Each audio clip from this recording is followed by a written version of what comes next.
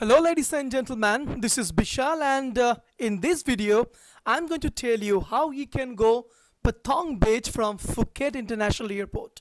Patong Beach it's one of the most and famous tourist destination in Thailand but it is so far from the Phuket International Airport. It is around 60 kilometer from the airport. Basically there are two ways by which you can go from Phuket International Airport to Patong Beach. Just few months back, I went to Thailand. In my Thailand series, I have experienced the entire journey. So from my experience, I'm going to give you the suggestion.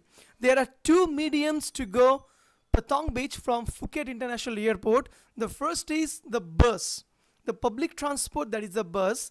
And uh, second medium is minibus also. Yes my friends there are two mediums. But i want to warn you just one thing that in the airport you will get lot of in airport you will get lot of travel and tour agencies. They will tell you that they are going to book cab they are going to book a bus for you. But i can give you assurance that that is much more expensive than this procedure that i'm going to tell you.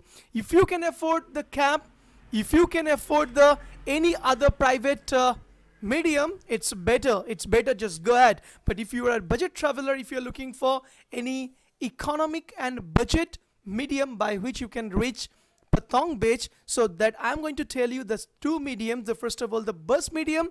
In the bus there is a problem that they will tell you to get a card. And the cost of the card is around 300 Thai baht 300 Thai baht it's the cost of that card. And uh, the bus fare is 130 baht. And rest 170 baht it will be kept in your card. If you do any shopping if you buy anything in Patong Beach you can use that card for that. That is quite okay. But if you don't want to get this card so it's better option for you. Just go for the minibus.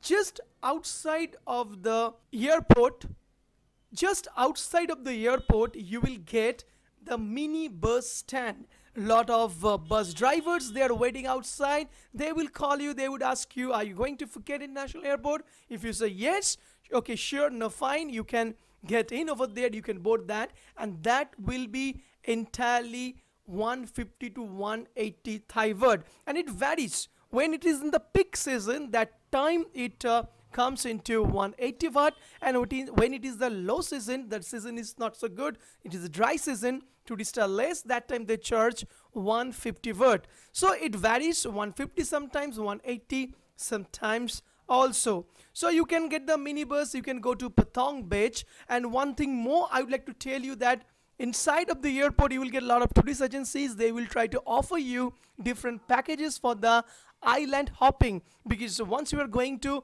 Phuket, Patong Beach, you have to enjoy the adventure of the island hopping. There is Phi Island, James Bond Island, Krabi Island. A lot of uh, exploration can you can do it from there. But trust me, friends, if you book any travel package from the international tourist airport, from the international airport, surely you have to pay huge amount.